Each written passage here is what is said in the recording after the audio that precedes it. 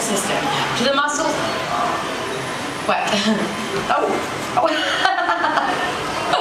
Anyways, um, oh, oh yeah, to the muscles, the tendons, the ligaments in my legs, hips, shoulders, and arms, which all have to move in sync just for me to uh, be able to keep my balance. what?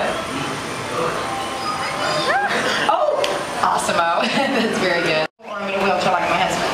Well, then, ASIMO's camera eyes, they're pretty much at the same level as my eyes, and that makes communication very simple. Oh, in fact, if you look over the screen, you can even see ASIMO looking at me. Hi, ASIMO. Hello, Sarah. Now, ASIMO, please turn toward our friends. Now, everyone, wave and say hello, ASIMO. Hello, everybody. Oh, you are probably also wondering why ASIMO isn't on wheels or treads or, you know, something like that. Well, ASIMO was designed to help people in order to really be a helper in our world, you know, where, uh, where we need to reach for things, pick things up. Oh, navigate on floors, sidewalks, or simply climb a set of stairs. Well, what is we we can show everyone just what you can do. Oh, hang on, we'll make it official. We need a goal. Perfect. All right, ASIMO, go for it. Go! All right, ASIMO, yeah. you know what? Way through. okay, now, no one wants to dance alone though, so tell you what, ASIMO, you lead and I will try to follow. All right, ASIMO, hit it!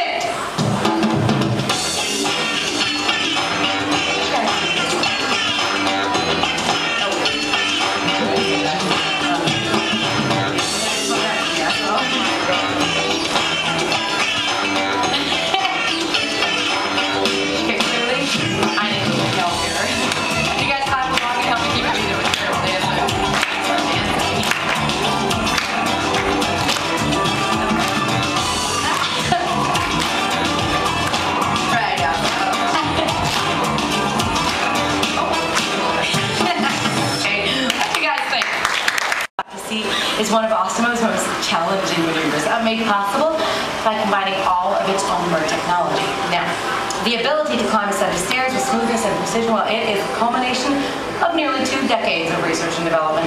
Oh, now to perform this feat, ASIMO stops momentarily at the foot of the stairs and then adjusts its position by reading marks from the floor using a sensor located inside of its torso. ASIMO, are you ready? I am ready. Great, well then go for it. Now for each step, ASIMO must adapt and constantly counterbalance using all of its sensors and computing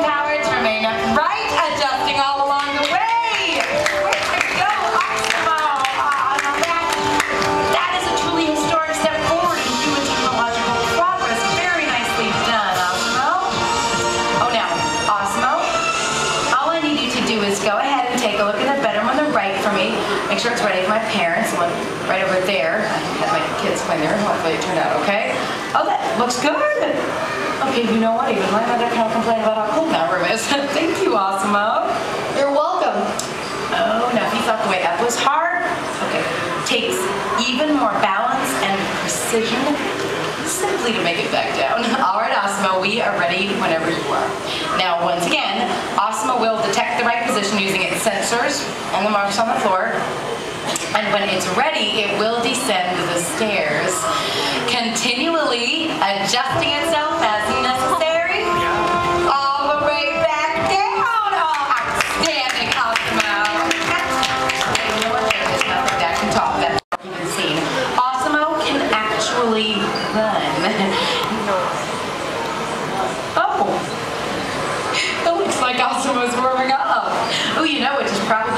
we should all do. Uh, you know, before uh, uh, exercise, we want to make sure we never uh, pull a servo motor.